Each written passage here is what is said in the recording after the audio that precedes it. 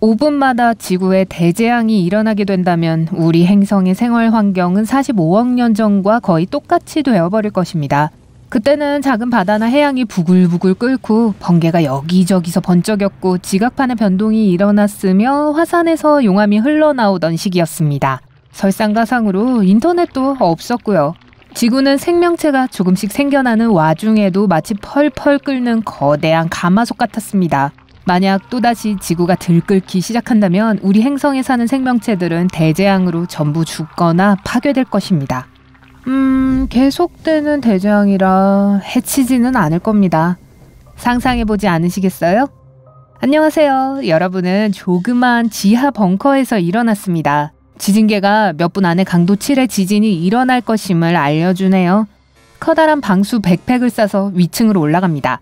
지하 벙커는 지진에 안전합니다.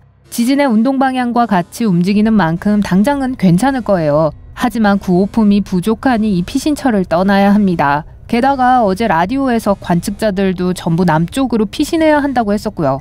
라디오에 나온 좌표들은 여러분이 있는 곳에서 그리 멀지 않아요. 하지만 서둘러야 합니다. 또 새로운 재앙을 겪기 전에요. 벙커 문을 연 여러분은 사막 한가운데 있음을 깨닫게 됩니다. 태양은 회색빛 하늘에 가려 거의 보이지 않습니다. 땅은 흔들리지만 두렵지 않습니다. 집도 빌딩도 없고 여러분 머리 위로 떨어질 만한 것이 아무것도 없거든요. 완벽하게 균형을 잡으며 걷고 있고 지진 때문에 발을 다치지도 않습니다. 꼭 트램펄린 위에서 뛰는 것 같아요. 딱 한 가지 땅에 생기는 깊은 틈이 위험 요소지만 여러분은 쉽게 뛰어넘을 수 있습니다. 극한의 아침 몸풀기를 끝내고 나면 아침밥을 먹을 차례입니다. 배낭에서 통조림 한 개를 꺼냅니다. 다음 재앙이 닥치기 전까지 시간이 몇 분 있으니 음식을 먹으며 어떻게 해서 이런 일이 일어나게 된 건지 증조 할머니가 말해주신 것들을 되새겨 봅니다. 이렇게 되기 전에 우리 지구는 여러 대륙으로 나누어져 있었습니다. 수백만 명이 이곳에 살았지만 끔찍한 일이 일어났습니다. 지각판이 움직이기 시작하면 기온과 기압이 급속도로 올라가게 됩니다. 어느 날 지진이 일어나 모든 도시들이 폐허가 됩니다. 쓰나미와 홍수가 남은 잔재들을 쓸어가 버렸죠. 화산재는 햇빛 한 점 보이지 않게 하늘을 가립니다. 산불은 나무들을 전부 파괴시키고 폭발은 공기를 오염시킵니다. 오직 소수의 사람만이 이런 거친 환경에서 살아남았고 여러분은 바로 그 천운을 가진 사람 중 한 명입니다. 아침 식사를 마칠 때쯤 또 다시 땅의 흔들림이 느껴지고 혼란스러워집니다. 이동할 시간이에요. 많은 사람들이 혼자서 세계를 여행합니다. 살아남기에 더 안전한 방법이라 여기기 때문이죠. 어떤 사람들은 작은 공동체를 이루기도 하지만 그 누구도 한 곳에서 오랫동안 머물지는 않습니다. 여러분의 인생은 방랑의 연속이지만 너무 겁내지는 마세요. 자연재해를 겪는 동안 지켜야 할 중요한 규칙 중 하나는 차분함을 유지하는 것입니다. 그래서 생존자들은 하나같이 강철 멘탈을 가지고 있는 데다 체력도 뛰어나게 단련된 사람들인 거예요. 남쪽으로 수킬로미터를 달리다 갑자기 이상한 냄새를 맡게 됩니다. 여러분은 얼른 방독면을 씁니다. 지진 때문에 담수가 올라옵니다. 토양에서 지표면으로 이산화탄소가 흘러나오고요. 방독면을 쓰면 편리하지만 빨리 달리기는 어렵습니다. 저 멀리에 초록빛의 숲이 보입니다. 불에 타지 않은 드문 곳이네요. 방독면을 벗고 강하게 내리쬐는 햇빛의 그늘을 피신처 삼아 나무 밑으로 갑니다. 이 푸르른 지역은 초목이 가득합니다. 알록달록한 꽃들, 딸기, 베리류가 여기에서 자라고 있어요. 하지만 여러분은 걱정하기 시작합니다. 이런 비옥한 땅은 화산 주변에서 나타나니까요. 비타민과 미네랄이 풍부한 지하 마그마를 뿜어내서 초목이 자라나는 것입니다. 저 멀리 높은 산이 보입니다. 화산이에요. 지하 땅의 압력이 올라와 폭발을 일으킵니다. 여러분은 딸기를 챙겨서 최대한의 속도로 이곳을 달아납니다.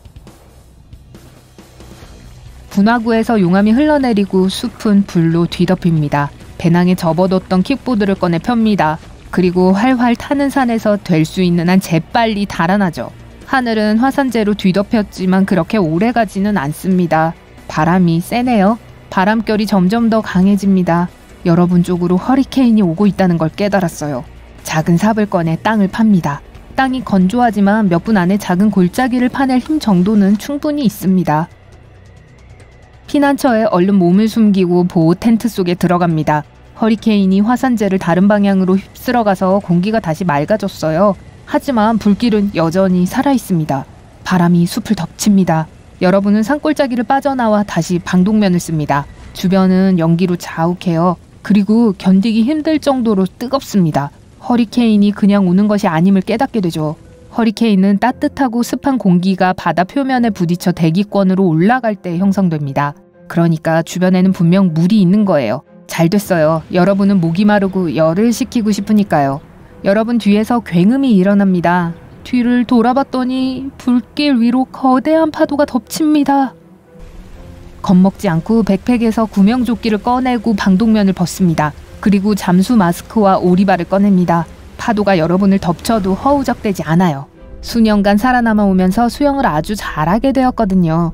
떠내려가는 나무를 잡은 후 인내심을 가지고 홍수 대신 새로운 자연재해가 나타나기를 기다립니다. 5분 동안 번개로 번쩍거리며 어둡고 폭풍우가 치는 하늘 아래를 항해합니다. 파도가 쳐도 여러분은 남쪽으로 노를 저었습니다. 꽤 추워지고 있어요. 드디어 해안가가 보입니다. 땅은 아니고 얼음입니다. 강한 바람 때문에 급격한 기온 변화를 가져오는 차가운 사이클론이 일어납니다. 꼭 남극에 있는 것 같아요. 눈과 눈보라로 뒤덮입니다. 엄청나게 춥지만 알루미늄으로 만든 담요를 꺼내 천천히 남쪽으로 걸어갑니다. 옷 안쪽에 구긴 종이들, 뽁뽁이, 면 조각 같은 것들을 넣으면 체온을 따뜻하게 유지할 수 있습니다. 그 과정에서 병 몇 개에 눈을 모아 넣습니다. 나중에 녹이기 위해서요. 얼굴에 고드름이 맺히지만 눈보라 때문에 여러분은 그걸 볼 수 없습니다. 그런데 갑자기 발밑에서 눈이 으스러지네요. 얼음이 녹고 물로 변합니다. 뜨거운 기운이 얼굴에 닿죠. 딱딱하고 건조해진 땅을 발견하고 하늘을 보고 시계를 봅니다. 5분이 지났습니다. 그리고 하늘은 다시 어두운 구름으로 뒤덮입니다. 배낭에서 금속판을 꺼내 머리 위에 씁니다. 몇 초 후에 거센 비와 우박이 머리에 떨어집니다. 큰 우박이 금속판을 강타하지만 여러분은 차분하다 못해 얼굴엔 미소가 번집니다. 땅은 축축해지고 우박은 녹아내립니다. 우박이 그치자 옷 속에 넣어둔 보온재들을 꺼내 배낭 속에 넣습니다. 그러고 나서 기다랗고 가시 돋은 철사를 펼칩니다. 가시는 구리선에 쌓여 있네요. 여러분은 그 막대를 서로 이어서 하나의 긴 안테나로 만든 뒤 땅에 박아두고 도망칩니다. 비구름 때문에 우박이 그치면 번개가 땅에 내리 꽂힙니다. 더 정확하게 묘사하자면 간 만들어둔 피뢰침을 치게 됩니다. 여러분은 폭풍우가 끝나기만을 기다렸다가 피뢰침을 뽑고 다시 배낭에 넣습니다. 뜨거운 열기가 다시 올라옵니다. 녹은 눈을 마시고 사막을 돌파합니다. 다시 지구에 진동이 일어납니다. 그리고 다시 대모험이 시작되죠. 지진, 이산화탄소, 화재, 홍수, 눈보라, 쓰나미, 번개. 이것들이 반복, 반복, 또 반복됩니다. 나침반에 의지하면서 이 여정을 계속하다가 몇 달 후에는 목표 지점에 도착합니다. 땅에 꽂혀 있는 기다란 안테나를 발견했어요. 지하 도시로 들어갈 수 있는 위치 표시죠. 이 도시는 몇 개의 벙커가 터널로 서로 연결되도록 지어졌습니다. 벽으로 방사선이 절대 통과할 수가 없어서 매일 일어나는 지진으로는 파괴되지 않습니다. 사람들은 땅에서 에너지를 추출하는 법을 배웠습니다. 지구 핵에서는 열기가 나옵니다. 이 열기는 물을 끓게 하고 수증기를 형성하죠. 그리고 전기는 별도의 기지에서 생성됩니다. 사람들은 호수나 강에서 물을 추출합니다. 태양열 대신 이곳저곳에 설치된 자외선 램프가 사람과 식물에게 필요한 빛을 제공합니다. 지구에선 자연재해가 5분마다 발생하지만 여전히 땅속 세계에서는 인류가 숨쉬고 있습니다.